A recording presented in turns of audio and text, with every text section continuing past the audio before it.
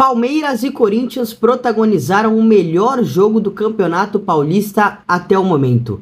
O Corinthians começou melhor, chegou ao gol já no começo da partida com o Roger Guedes, depois ainda permaneceu pressionando, conseguindo sufocar o Palmeiras. Depois de um certo tempo, o Palmeiras melhorou.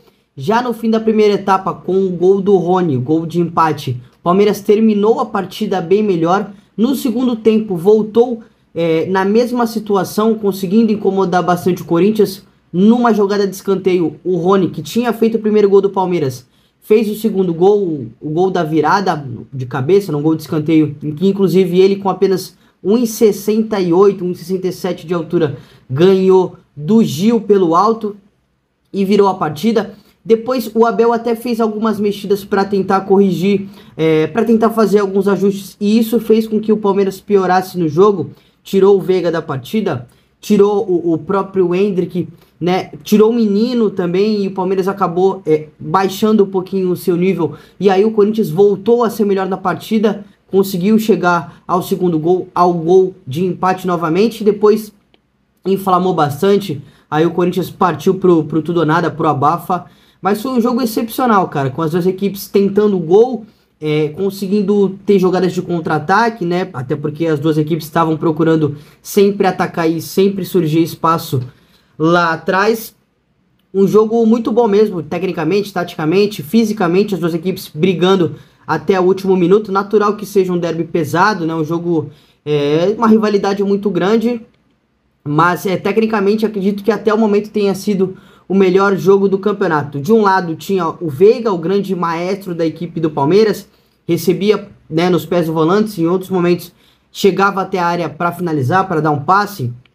Tinha o Dudu de um lado, o Rony mais centralizado, o, o, o Hendrick pelo outro lado. Inclusive, o, o Rony, a, a, gente costuma falar que tecnicamente ele não é um jogador brilhante, né? Inclusive, muita gente questiona a sua qualidade técnica mas é impressionante como ele é importante para essa equipe do Palmeiras, né? Para estar tá sempre incomodando, para estar tá sempre brigando por, por, todas as bolas.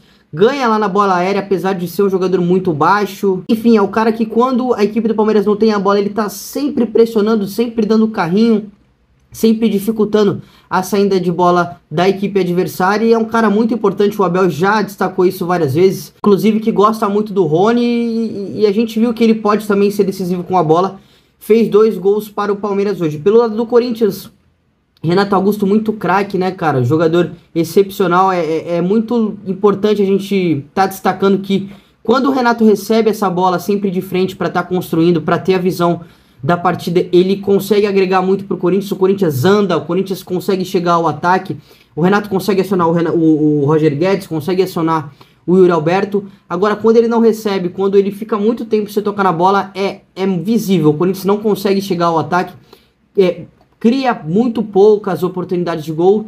Então, é, é, é legal a gente destacar a capacidade como o Renato Augusto tem de influenciar a partida do Corinthians. E hoje ele foi bem, né? No primeiro tempo, deu o passe para o Roger Guedes abrir o placar no início da partida. No segundo tempo, logo após as mexidas que o Abel Ferreira fez que resultaram né, que o Palmeiras tivesse uma certa queda é, no, no desempenho. E aí o time do Corinthians melhorou e o Renato Augusto principalmente tem muito mérito nisso, né? Por ter recebido mais a bola, por ter chegado mais perto da área. É, deu bola pro, pro Roger Guedes, deu bola pro Romero pelo lado direito, deu bola também pro Yuri Alberto.